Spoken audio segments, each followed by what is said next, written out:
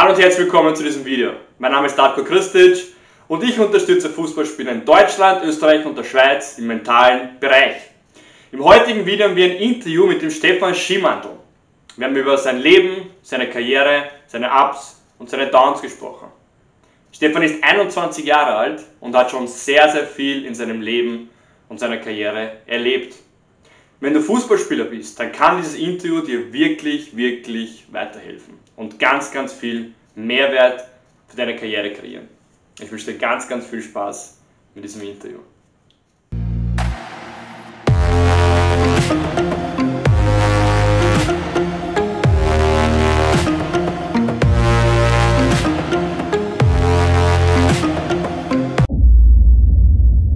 Willkommen zum Fußball Mental Training Podcast. Lieber Stefan. Grüß Gott, vielen Dank für die Einladung. Sehr, sehr gerne. Danke, dass du dir Zeit genommen hast. Für alle, die dich nicht kennen, ich werde dich mal kurz vorstellen. Also ist der Stefan Schimandl. Er ist Österreicher, ist momentan 21 Jahre alt, ist Stürmer und spielt in der zweiten Liga Österreich beim SV Horn. Stefan, gestern ist ja was passiert, das uns alle betroffen hat. Eine Legende ist gegangen, Diego Armando Maradona.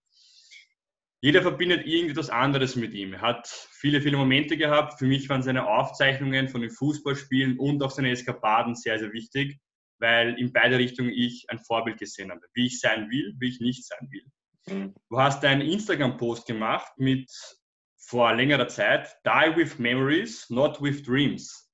Ja, das habe ich richtig, richtig cool gefunden. Ich glaube, das hat der Marathon auf jeden Fall auch getan. Was Absolut. verbindest du mit Diego Maradona? Ja, es ist eine absolute Legende.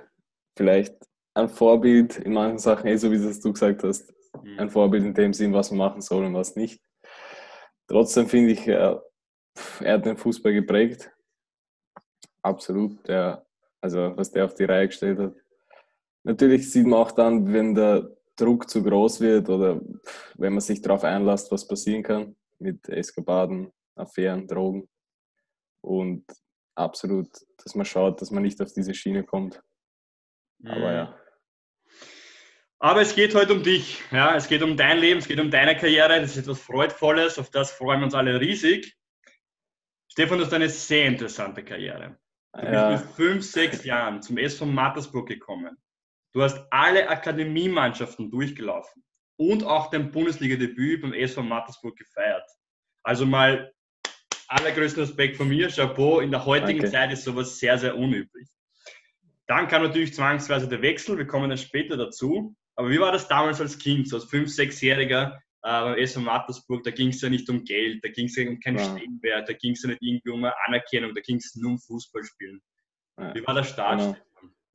Ja, es ist also so, meine Eltern sind eigentlich aus Niederösterreich und wegen der Arbeit von meinem Papa sind wir dann nach Mattersburg gezogen. Ich bin dann genau 99 sind sie hingezogen und ich bin 99 geboren in Mattersburg.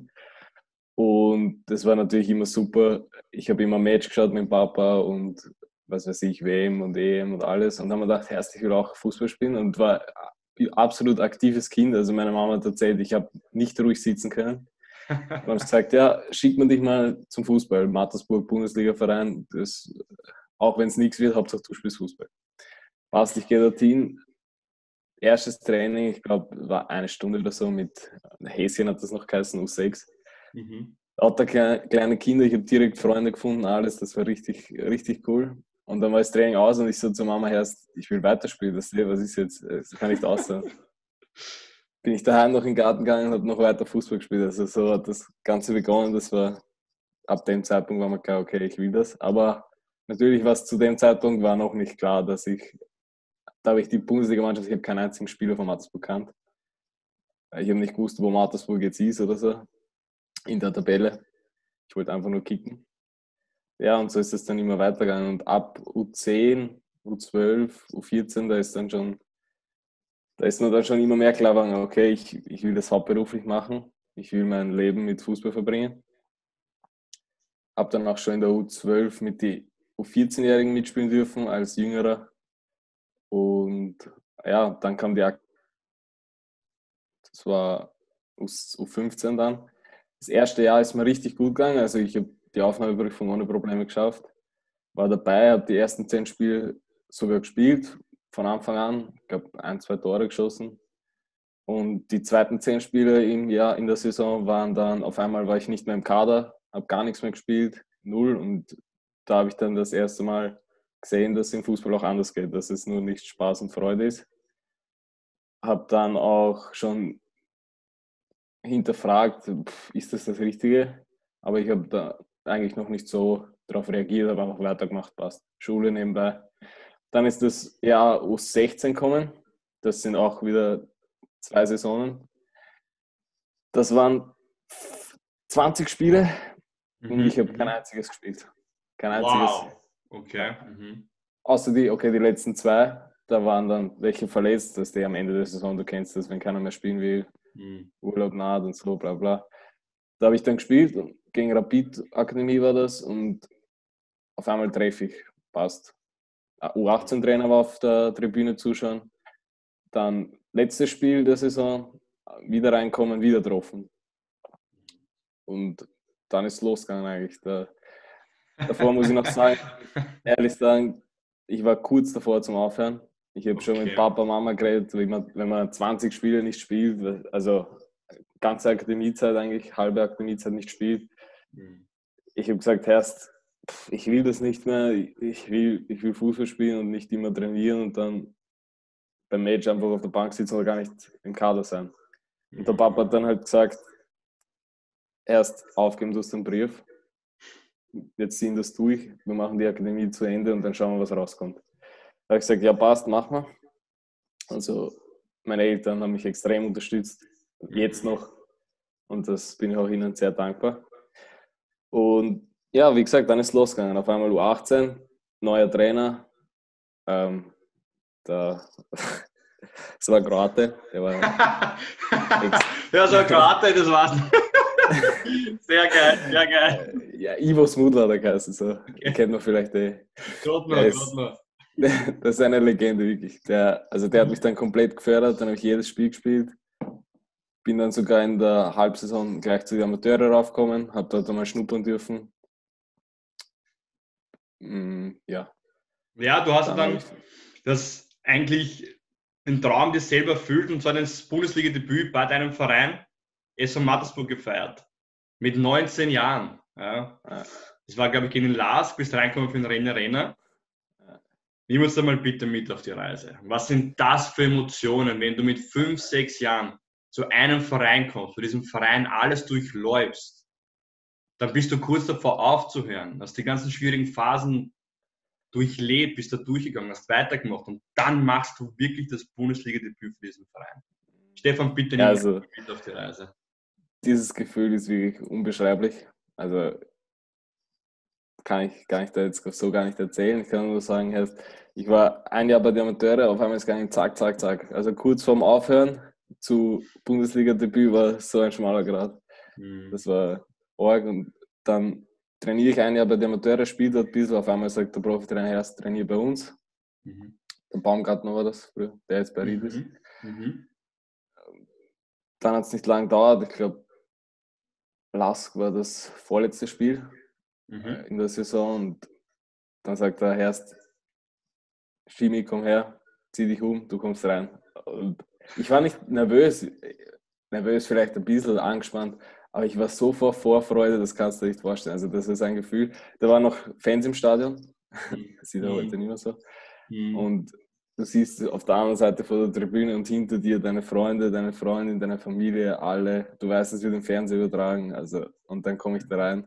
Und man sieht, was passiert. Ich war zu motiviert. Erste Aktion gleich im Bogota jetzt umgeschnitten, gelbe Karte. das war ein bisschen zu übermotiviert. Sehr geil. Aber so war Warte, ganz kurz, mein Laptop dreht sich gleich auf. Fuck, fuck, fuck. Ja, kein Stress. Kein Stress. So, und hat schon wieder Energie. Sehr gut, sehr gut. Na, sehr cool, sehr cool. Ich kann mir das vorstellen. Also, du bist dann ein junger Bub, bist 19, hast so viel durchlebt. Ähm, und dann schaffst du es und dann bist du natürlich voll motiviert. Am 28.07., am ersten Spieltag der Saison 1920, hast du dein bisher einziges Bundesligator geschossen. Mhm. Für Mattersburg, dein Jugendverein, dein Lebensverein. Was ist da dann mit dir passiert? Also dann machst du das erste Tor, ja, und.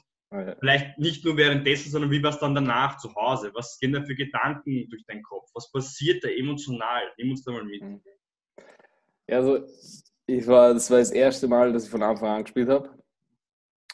Und gleich in der ersten Halbzeit ist der Bürger Patrick schiebt mir ein paar rüber, ich stehe allein vom Tor, brauche ich nur mehr einschieben. Und dann sind die Emotionen nicht überkocht. Ich habe mich gefreut wie ein kleines Kind. Ähm, ja, dann haben wir noch gewonnen dazu, das war super. Dann die ganzen Interviews und so, also das war wirklich eine Erfahrung, die vergisst man nicht so schnell. Mhm. Wie ich dann daheim war, bin ich das Erste, was ich gemacht habe nach dem Duschen umziehen, bin ich gleich einmal zu meinen Eltern gefahren. Die haben natürlich fast Tränen geweint, kann man sagen. Obwohl es, mhm. es ist ja, okay, es ist ein Bundesliga-Tor, aber für mich ist das halt die ganze harte Arbeit und ganzen ähm, 16 Jahre, was ich jetzt Fußball gespielt habe zu dem Zeitpunkt. Es ist ja erstens das und, Entschuldigung, unterbreche erstens das und zweitens, es ist ja dein Verein. Ja. Es ist ja dein Verein, wo du von Kindheitsalter dort bist und alles durchgemacht hast. Kurz davor warst aufzuhören und dann mhm. das Debüt des Tor, also das ist sehr, sehr verständlich, mhm. dass du da so viel erlebt hast. Und dann kam leider der Sommer, ähm, der Zwangswechsel zum SV Horn, die Schließung vom SV Mattersburg und deswegen mal gleich zwei Fragen hintereinander an dich. Wie hast du die Schließung vom SV Mattersburg wahrgenommen und wie fühlst du dich jetzt gerade in Horn? Ist ja das erste Mal, dass du bei einem neuen Verein bist, von anderen, ja, was, erwartet? Ja, also die, das Konkursverfahren oder beziehungsweise die Schließung war richtig, richtig überraschend. Also von einem Tag auf den anderen hat es auf einmal geheißen, erst aus Mattersburg gibt es immer. Da ist natürlich für mich auch irgendwie eine Welt zusammengebrochen. Mhm. Es war halt doch mein Verein. Ich war nirgends woanders. Ich hatte genug Angebote von anderen Vereinen und ich habe immer gesagt, nein, ich will bei Mattersburg bleiben. Ich will bei Mattersburg Profi werden. Ich will mich da durchsetzen und vielleicht, wenn irgendwann mal die Zeit kommt, einen Schritt weitermachen. Es ist halt schwierig. Wer weiß, was da hinter die Kulissen wirklich passiert ist. Ja. Mhm. Aber jetzt bei Horn, also ich fühle mich richtig gut. Also ich weiß nicht, ob das vielleicht das Glück ist, wenn ich, also ob das so normal ist, dass ich, wenn ich wohin wechsle, mich direkt so einfühle. Also ich habe jeder Teamkollege ist äh, richtig leibend zu mir und ich auch zu ihnen. Wir verstehen uns extrem gut. Die Harmonie in der Mannschaft ist top. Jetzt mit dem neuen Trainer, das, da geht auch richtig was weiter. Also mhm. das ist schon, das ist schon Sehr cool, sehr cool, sehr cool. Wir haben jetzt über deine Karriere gesprochen. Ähm, geh mal rein in dein Leben. Was war so außerhalb von deinem Leben dein höchster Up bis jetzt und dein tiefstes Down? Also ja, mein höchstes Up war eindeutig der New York-Urlaub mit meinen Eltern und meiner Familie. Mhm. Also wir haben dort äh, die Sau rauslassen nicht, aber wir haben halt, wir haben halt einmal einen Teil der Welt gesehen, den du nur aus dem Fernseher kennst. Und das war für mich so ein Moment, wo du sagst, okay, du bist mit deiner Familie zusammen da, hast alles, was du brauchst. Die mangelt es nicht an irgendwas. Und also das war schon sehr schön. Mhm. Aber auch der Moment, wo ich mit meiner Freundin, mit meiner jetzigen, äh, meinen Hund, äh, das erste Haustier gekauft habe. Das ist eine mhm. kleine französische Bulldogge. Und die ist halt jeden Tag an deiner Seite, ist wie dein bester Freund. Und mhm. das sind halt auch so Momente im Leben, die, die ich ja. brauche. Na, ich und meine Freundin überlegen schon seit, glaube ich, zwei Monaten, muss ich einen Hund zulegen. Es ist immer mal pro, manchmal contra. Aber irgendwie letzte Zeit aber viele, viele Zeichen, dass wir machen sollen, ja. So wie du jetzt auch gerade. Also. Ja, genau. es, halt, sagen. Ja, es ist halt eine Aufgabe, aber mhm. wenn man, sie gibt mehr zurück als, als nimmt. Aber sicher super Training auch für Kinder, oder? Ja, das absolut. Aber ich, da will ich mich noch nicht 2000 Fenster rennen, aber es ist schon fast wie ein Kind, stimmt ja. Okay,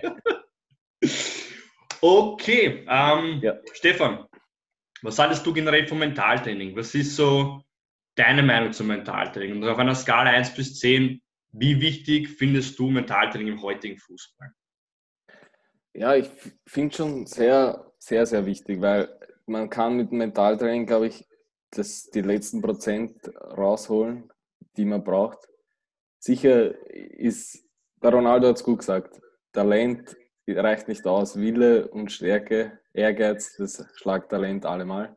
Mhm. Und den Willen und den Ehrgeiz, wenn man nicht so ein Mensch ist, der das von Haus aus hat, ähm, finde ich das, glaube ich, sehr vernünftig, wenn man sich einen Mentaltrainer nimmt, der einem da auf die Sprünge hilft. Mhm. Ja. Und so von einer Skala 1 bis 10, wie wichtig findest du das im heutigen Fußball? Im Fußball ist äh, vielleicht sogar eine 8. 8 okay. 7, 8. Okay. Das Problem ist aber auf Metalltraining, vor allem in der heutigen Zeit, dass viele, viele Sportler oder Fußballspieler glauben, das ist so eine Art Psychotherapie. Ne? Aber der große Unterschied zwischen Psychotherapie und Mentaltraining ist, dass Psychotherapie mit dir in die Vergangenheit geht, irgendwas auflöst, was damals war, damit du jetzt glücklich bist. Geht ja mir am Arsch vorbei. Ich gehe mit dir von der Gegenwart jetzt in die Zukunft, die du haben willst und das schneller und sicherer. Ja? Und Fußball wird einfach zu 95 Prozent über den Kopf gespielt und da gibt es so viele Areale im Kopf, da gibt es so eine Macht vom Geist, die wir von Gott, vom Leben bekommen haben, die wir aber nicht nutzen. Warum? Weil wir keine Bedienungsleitung bekommen haben. Und Spieler, die damit anfangen, potenzieren um das hundertfache ihre Leistung und natürlich auch ihr Glück im Leben. Ich finde das natürlich als Fußballmentaltrainer sehr wichtig. Ja, sehr, ja. Ähm, Stefan, dann machen wir ein kleines Wortrap, wenn es für dich okay ist. Ähm, mhm. Drei bis fünf Sekunden für Antwort. Bist du bereit? Okay, ja. Lieblingsmannschaft? Ähm, SV Horn. Lieblingsspieler? Ricardo Quaresma. Lieblingstrainer? Ähm, Klaus Schmidt. Corona ist? Arsch. Fußball ist? Mein Leben. Energie tanke ich? Im Urlaub. Als Kind wollte ich? Fußballer werden. Das kann ich gar nicht leiden.